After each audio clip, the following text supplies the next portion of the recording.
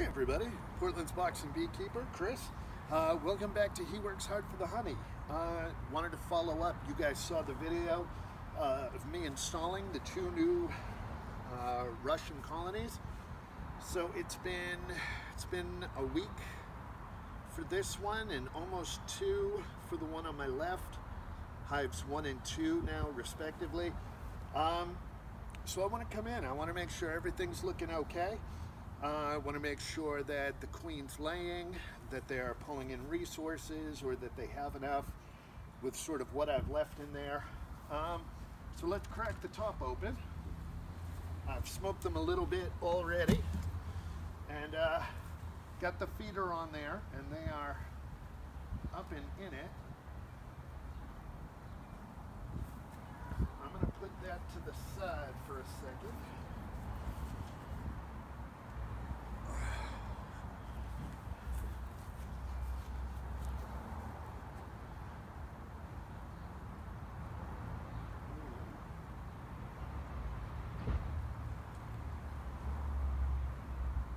Good sign that they are starting to, these frames were blank when I put them in, starting to draw out some comb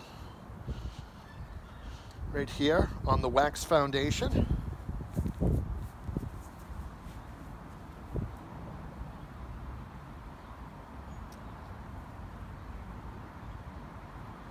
they're doing that with a couple of the frames here.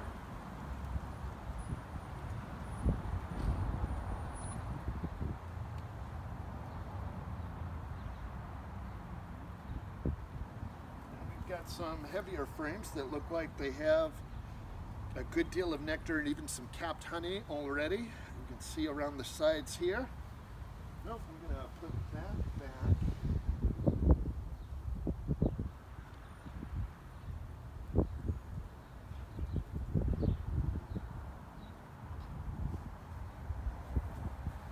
And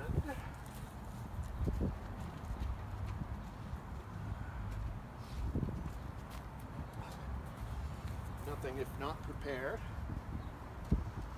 at all times. I'm going to get a little further in here uh, and make sure that we see eggs and hopefully at this point some some capped brood. I think that they've actually yeah, kind of glued this box down to the one above it. So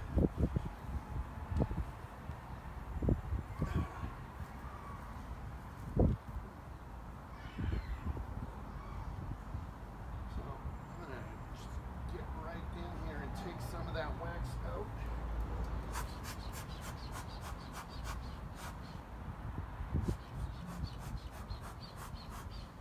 Ah, I think my fire went out. I was in kind of a hurry, so I could see where that could happen. Pull a couple of frames out anyways, and I'll get that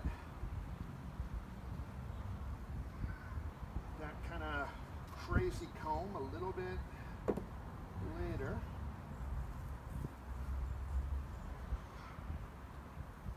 All right, I see some nectar and pollen here. Uh, a little closer to the center than I guess I'd like, but but it does look like they are mostly over this side. It's a little windier than I bet they'd like, which is why I think they're flying in my face and letting me know that they're here and that maybe they don't feel like today is the best day for an inspection. So I'm going to try to be very quick. Oh, beautiful. Here is a beautiful frame here. It's a great laying pattern. And all of that in the center is capped brood. So they are looking to raise their population up fast. You can see they're spreading out a little in the center. And that's all capped brood. So we've got a laying queen here, for sure. Wow. I've got this frame out. Gonna just do a little housekeeping here.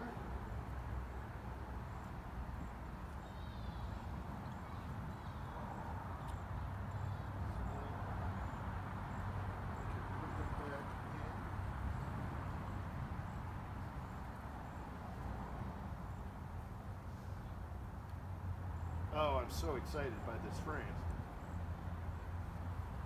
Um, so generally, with a with a really healthy laying pattern like that, where it's really covering a lot of the frame, um, just shows a, a, a, healthy, sort of very virile queen uh, who's going to be able to ramp up the population of this hive very quickly. It's an exciting thing. Uh, very nice to see this quickly in a new hive. I'm gonna actually leave this frame out so I have a little room to work.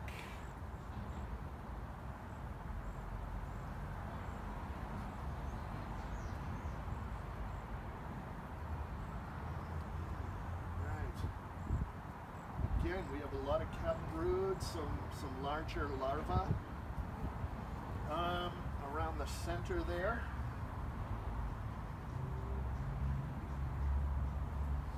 Well, the queen wasn't here too long ago because she's gone around and filled some of the empty spaces with eggs. That's fantastic.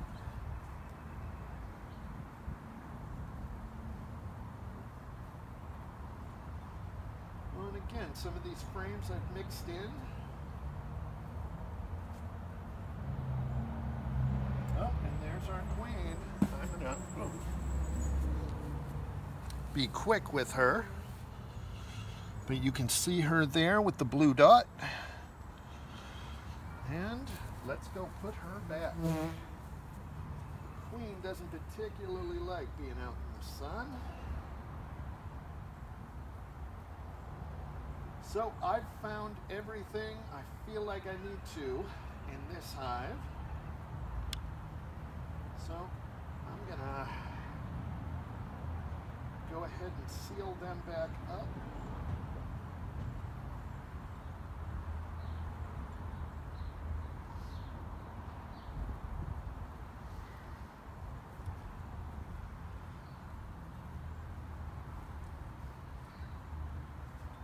Maybe on a less windy day, I'll, uh, I'll plan on getting a little further in.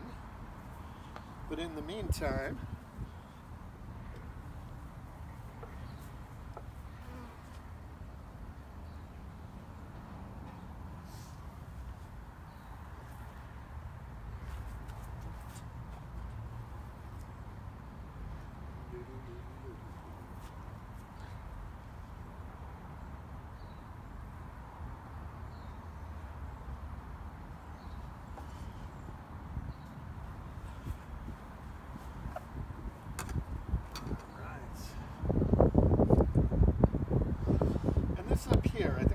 mentioned is a feeder. I've actually got a, uh, a short video sort of peering into this. Uh, if you're interested, it's sort of a mesh sort of gate around the middle with an area underneath that the bees can come up and then two pools on each side that I fill with uh, sugar syrup. I keep hoping it'll come back if I keep doing that. Um, and the mesh gate around the entrance sort of prevents them from just flying in and kind of having a mass drowning, which I don't know why they do.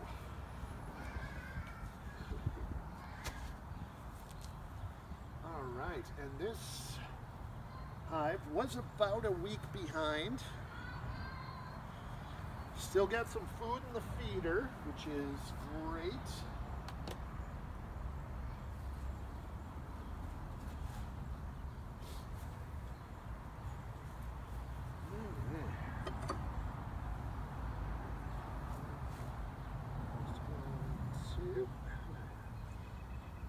pull this back out.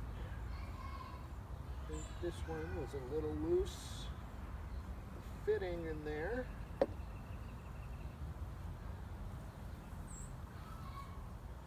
Now let's get in here and make sure that our new queen is laying in here as well. It kind of feels the same way, like they've maybe taken some wax and kind of locked the cover down, which you can kind of see some of that wax up here. They've been busy.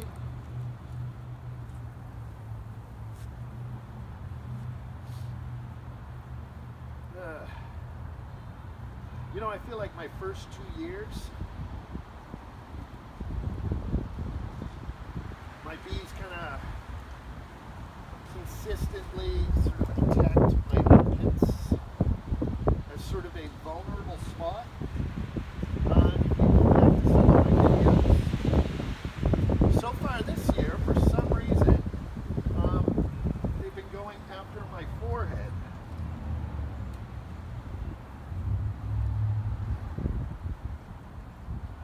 And, uh, and like I said, it's uh, it's a windier day than I would like, so I think they're just letting me know that they're not having it. And if I were smart, I would listen. Uh, but that's not something I ever claimed, really. I get hit in the head for a hobby and I play with stinging insects. It's just, it's beyond me to do smart things. Kind of.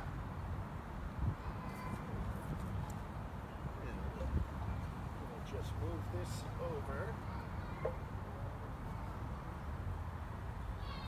And see if I can't get a better look at how they're doing.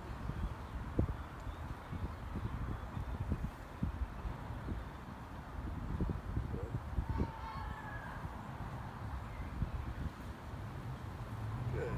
Now pull up this frame.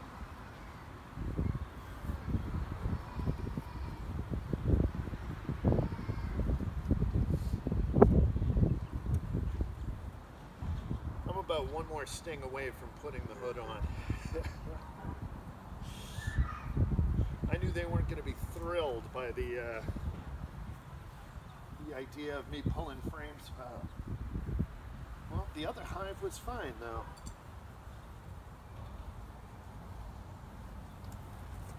Copy that.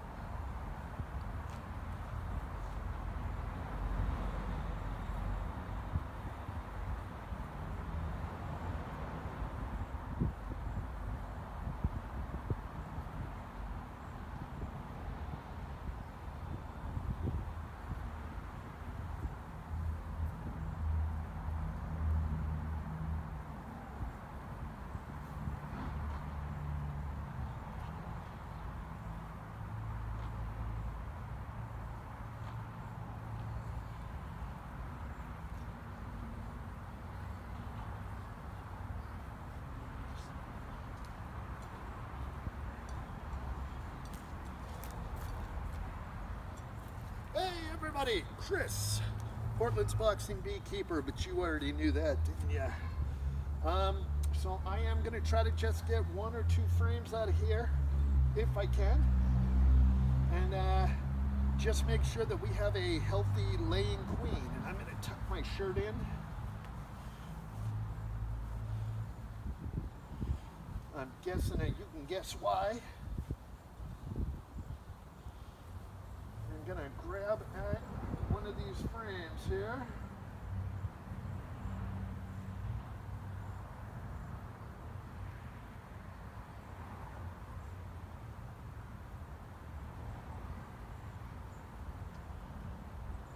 There's a very good, healthy number of bees here. And I see larvae in there, which is fantastic. Uh, it's great. They're flying at my body and my hands to say anything just yet. And we've got some cap brood and larva on this side. And the queen, fantastic. And just like that, she's disappeared, uh, as queens will sometimes do. If you're not careful.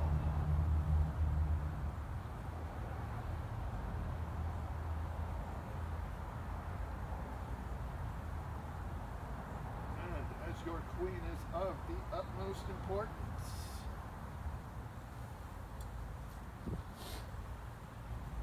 Let's make sure to take care of her.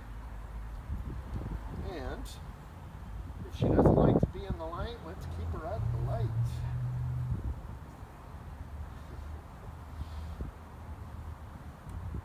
And that's really all I needed to see was that we have uh, two viable hives uh, with healthy laying queens.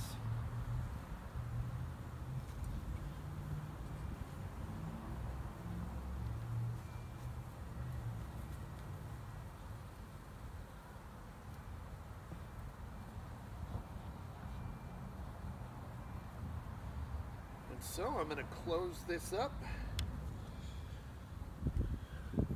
And I'm going to have you join me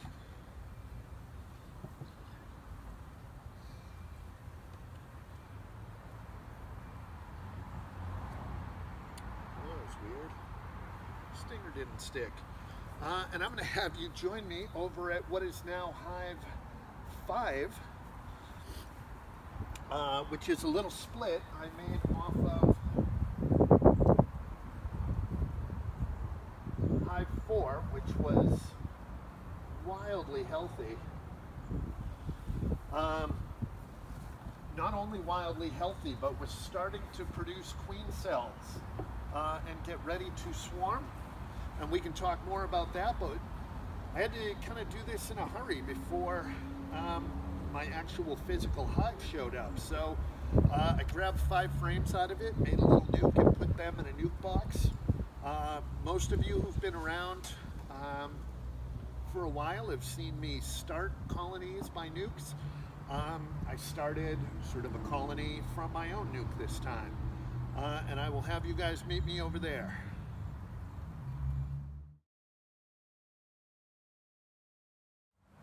Hey everybody, welcome back to He Works Hard for the Honey. I'm Chris, Portland's boxing beekeeper. And uh, I was doing some work in this hive and uh, if some if you follow us on uh, Facebook and Instagram, you saw that I, I had a bad time with a hive last week. Uh, and it was this one. This hive sucks. Like badly. It takes all the joy out of beekeeping. We got no surplus honey from them last year and uh, just at the slightest breeze um, 15 of these guys were bouncing off of my net here um, and so I decided to uh, grab the video camera and talk a little bit uh, because yep yep uh, and so I decided to grab the video camera because we have had hot hives here. Um, as those of you uh, can remember, and I, I will probably repost our, uh, our horror movie uh, trailer um, for our, uh, our hive from season two. But um, I'm gonna get in here and talk a little bit about uh, sort of what to do with a hot hive uh, like this. Yep. Yep. Um, sort of in an urban area here. Because my other hives, I mean, are active. Um, they don't do this. And that's a lot of you who, who've watched for a while may know I don't usually suit up. It kind of, I feel clumsy in the hive when I'm wearing gloves. Um, you know, my hives have, have typically been pretty gentle and I feel like, you know, if they sting me, that's kind of their way of letting me know it's it's time to go. And so I, I want to be sort of in tune with that. Um, and I, I was just, I, I, I bought this um, for our interview series so that we could um, have guests and not have them sort of worry about getting stung. Um, and as I was getting ready to open this hive up, I just uh, feel my blood pressure go up and uh, thought maybe this wouldn't be such a bad idea. Um, so I hope there's nobody just on the other side of this fence. It's usually a pretty, uh, pretty open space. I hope none of these bees get up this suit. And here we go. Um,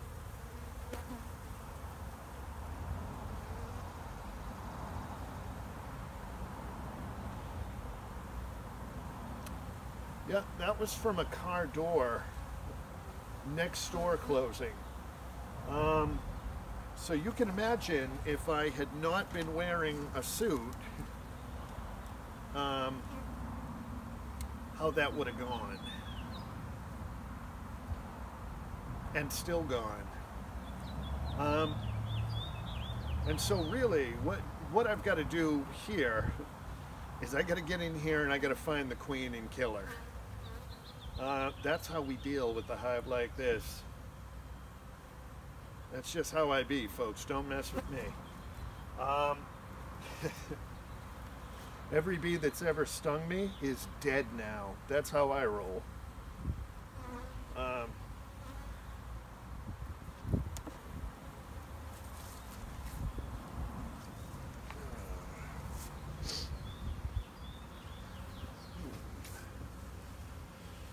And so, by finding and killing the queen, um, it's awfully early in the year, but I am probably going to take a, a, more docile queen from another hive and insert her uh, into this hive uh, a few days after I've killed the queen. Man, this is even worse than it was last year. Uh, maybe they're just not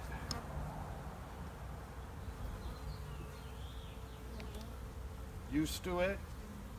You know, me coming being in here. But uh yeah, this hive sucks. I cannot say it enough. Um, and again, you guys who uh, follow us on Instagram and Facebook, uh, I had a really rough time, and all I did was take the uh, take the feeder off this hive, and uh, I got stung probably 15 or 20 times. Um, it was not a good day.